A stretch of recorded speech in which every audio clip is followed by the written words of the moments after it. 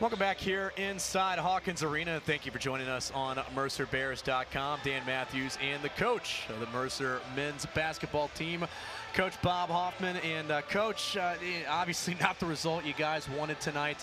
Uh, the difference uh, really coming down towards the end. Well, they hit 11 threes, and we kept shooting threes and couldn't make them, and our free throw shooting was atrocious tonight. I mean, you can't win games like that at home.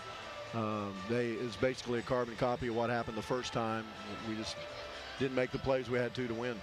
As I said, tough loss, but even though in losses sometimes you do have some bright spots, uh, TJ Hallice continuing to play good basketball for you guys.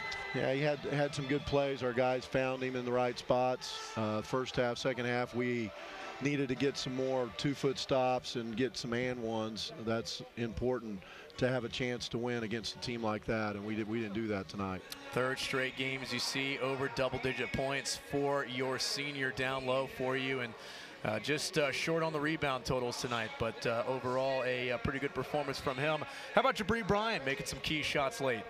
Well, Jibri hit a couple threes. He took one that we didn't need to take in transition. We should have tried to drive it, and they came back and hit a big three. That was a big moment in the game, but he made some good jumpers that got, got us some separation, but we needed more guys making plays for us to get the win.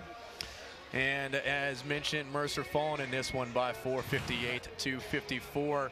And uh, some of the uh, final stats in this one, uh, Coach, uh, you mentioned uh, the three-pointers standing out. Uh, anything else on the board really standing well, free out? Free throws, and you know we had too many turnovers. We ended up having 12 turnovers at home. You're not going to win like that.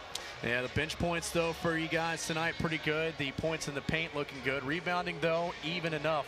But uh, the uh, outside shooting and the free throws is the thing that ends up uh, taking you guys down. Tough loss, Coach. Uh, bounce back on Saturday, though. Yeah, tough one coming in. They shoot it just as well. And they're going to take a lot of threes. We'll have to be ready. We'll be here for it. Thank you for watching us on MercerBears.com.